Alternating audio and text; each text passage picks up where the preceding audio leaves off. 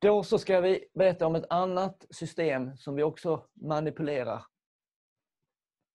Och då frågar jag er, vilken är den viktigaste, vanligaste excitatoriska transmittersubstansen i CNS?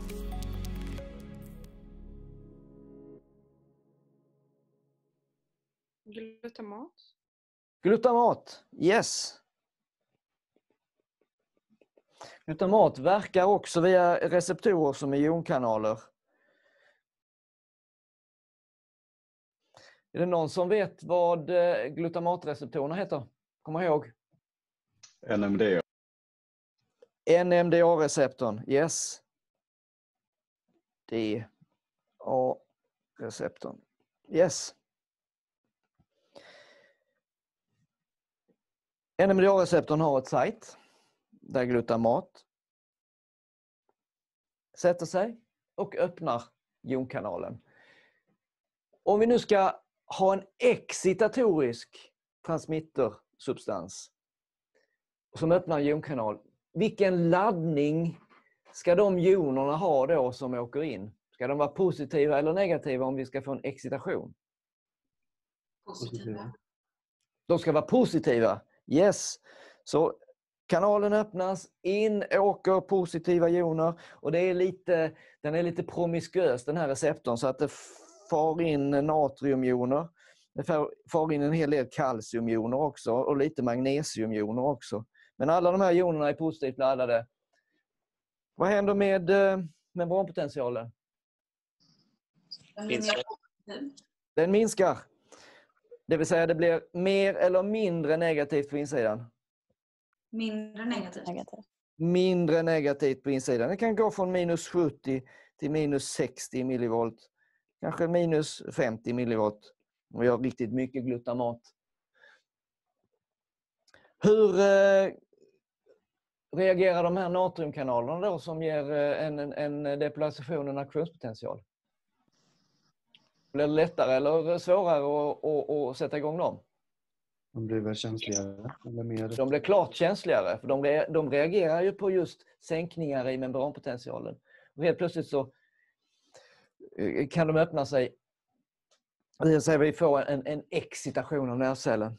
Under tidigt 70-tal så fick man in till eh, ett sjukhus i Chicago ett stort antal fall med patienter som kommer in med epileptiska anfall, alltså status epilepticus. Man förstår inte detta för patienterna var tidigare friska. Ingenting som skulle kunna göra detta. Man gör en, försöker spåra detta och man spårar detta till att de här patienterna äter gärna asiatisk mat i ett eh, område i Chicago. Och det visar sig att det här är, är väldigt populärt att krydda med umami-krydda här i detta området i de här restaurangerna. Det vill säga glutamat, för det är glutamat som är utlöser umamismaken, eller hur? Därför vi tycker om kött, för det finns mycket glutamat i proteinerna där.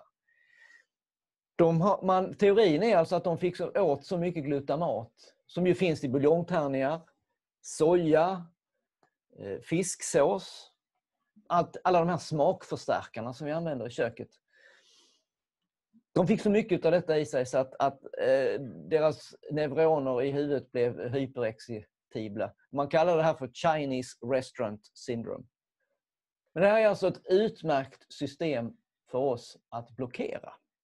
Blockerar vi excitationen blir det lugnt och fint i hjärnan och patienten somnar.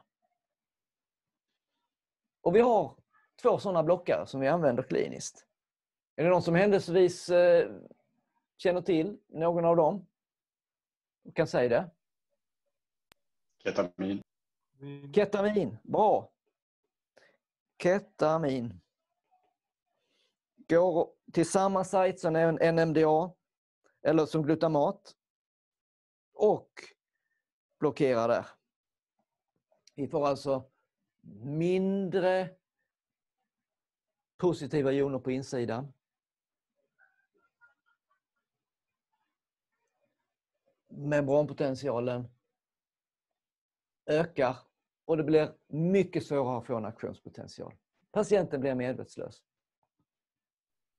Vi har ett anestesimedel till som verkar på detta sättet. Och det är lustgas.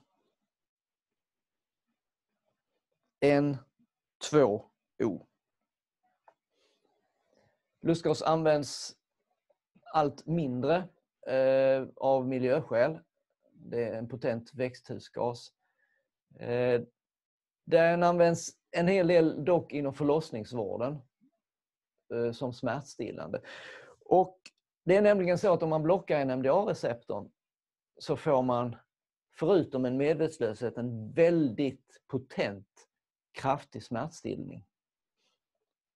Och lustgas och ketamin har inte alls de här biverkningarna som benzo och propofol och de har. De ger inte mycket till andningsdepression. De gör definitivt ingen muskelrelaxation. Patienterna blir snarast lite muskelstela och, och ligger med, med, med spänt ansiktsuttryck. Luftvägen håller sig på det viset fri. Och ger, de ger heller inget blodtrycksfall att tala om. Ibland till och med en liten blodtrycksökning. Här har vi alltså ketamin, det ideala narkosmedlet. Och jag skulle vilja säga att om det, ni kommer i en situation under er läkargärning när ni måste söva någon och ni inte är utbildade och tränade anestesiologer eller narkossköterskor, så är ketamin det enda läkemedlet ni av mig får lov att använda. Just för biverkningsprofilens skull. Det kan vara att ni hamnar vid en eh, olycksplats i trafiken, någon sitter fastklämd eh, och för att kunna få bort den här personen måste ni söva ner, det gör så ont till exempel. Ketamin är det enda ni får använda. Håll fingrarna borta från Propofol, bensodiazepiner, etanol och så vidare. Ketamin är det som gäller. Och detta vore ju det ideala narkosmedlet som även vi som är proffs skulle kunna tänka oss använda.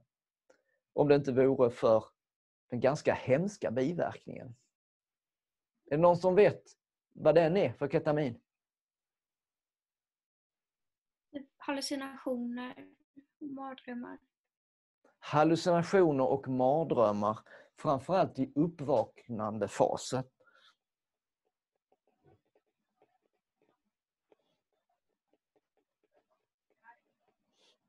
Man, eh, i där, när man håller på att vakna upp och på väg upp ur dimmorna så kan man ofta övertolka och på ett ångestladdat sätt eh, få en, en, en felaktig perception av sina sinnesintryck.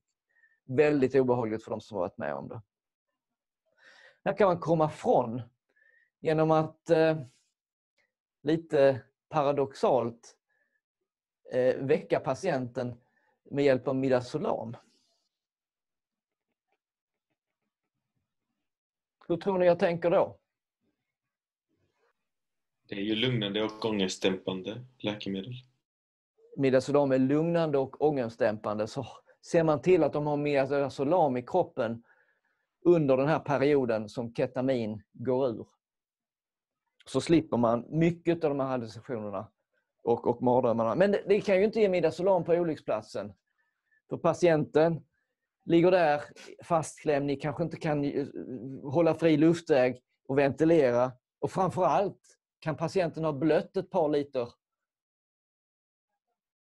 Och lägg blodtryckssänkande läkemedel till en patient som har blött ett par, par liter och eh, tyvärr blir en gravsten till på kyrkogården.